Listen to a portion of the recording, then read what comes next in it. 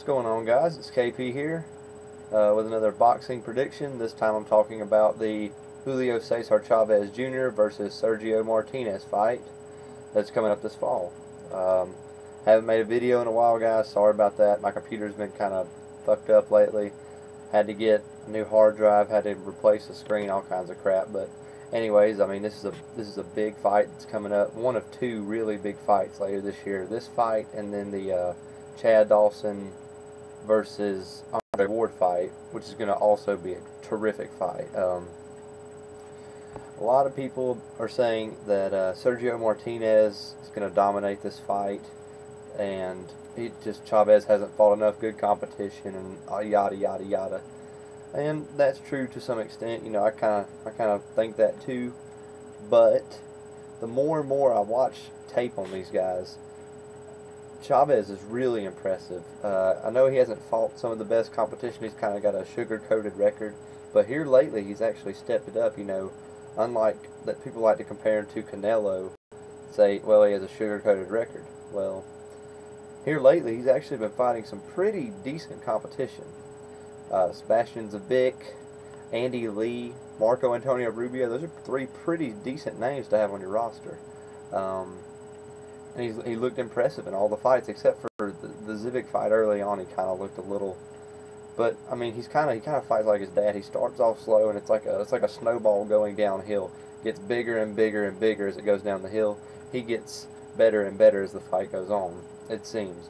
Uh, his body punching is terrific, uh, very accurate. He's not he's not just wailing shots. He's actually coming in, planting himself on you, bending at the knees, and throwing great shots, nice short, accurate body punches. The only knock on him that I could think to say is that he doesn't use his jab enough, uh, especially against someone like Martinez. I mean, that guy. Okay, the thing about this fight is this. Chavez's style is made to beat someone like Martinez, but Martinez's style is made to beat someone like Chavez. So it's basically going to be who can get their shots off and who can impose their will because Chavez is a guy that comes in behind a high guard, he plods in, and he plants himself up on your chest and throws body punches.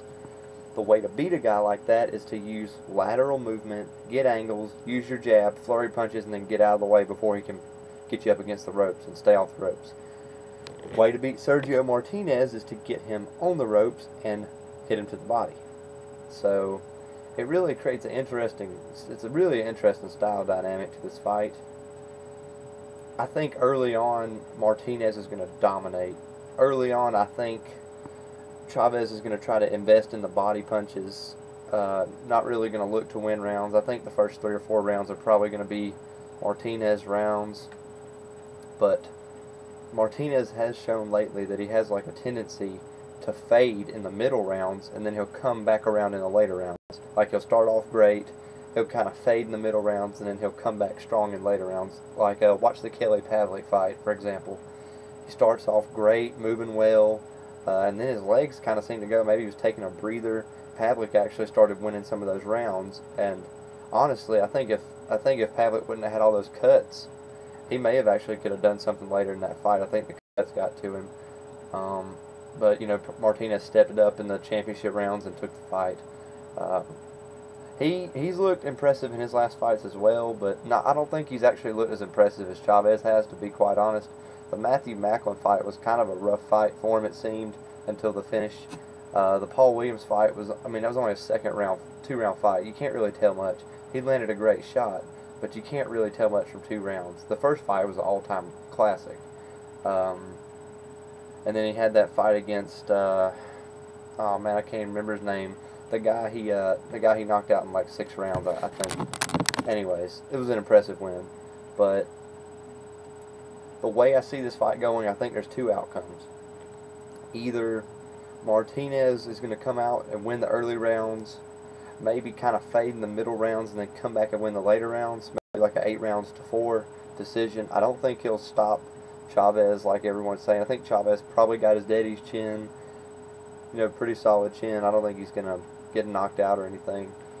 Or Martinez starts off good, but those body punches start to catch up to him. I mean, Martinez is like 37 years old, guys. He's getting older.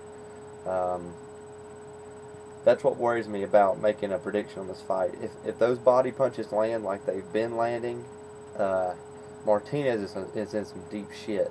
Because if he loses his legs in that fight, if he can't move, he's toast. I mean, that's Martinez's whole game is to move away from you and dance around you. But I'm going to go with my gut here, and I'm going to take Martinez by decision. This is a great fight. This is a tough prediction for me to make. This is the toughest prediction I've had to make since Pacquiao Bradley.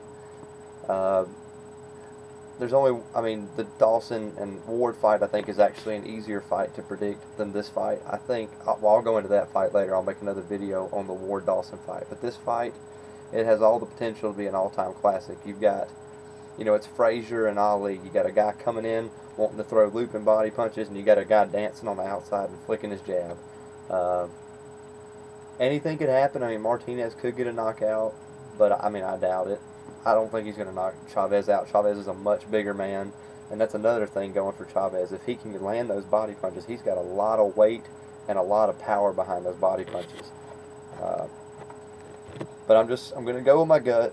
When I first heard this fight was announced, I said Martinez will probably win it. I'm going to go with Martinez. Uh, I think it's a close fight.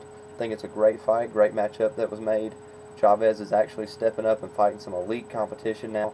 He's distancing himself from people like Canelo who are still fighting over the hill Shane Mosley's. And I mean, he's fighting. Who's he fighting next? Uh, he was going to fight Victor Ortiz. Seriously? He's fighting the guy who beat Victor Ortiz, Josesito Lopez, that who's a welterweight. He's fighting a, a guy that fought once at welterweight, but he's actually like a 140 pound fighter. Canelo needs to step it up. Uh, I think Chavez is actually coming out as one of the premier younger fighters.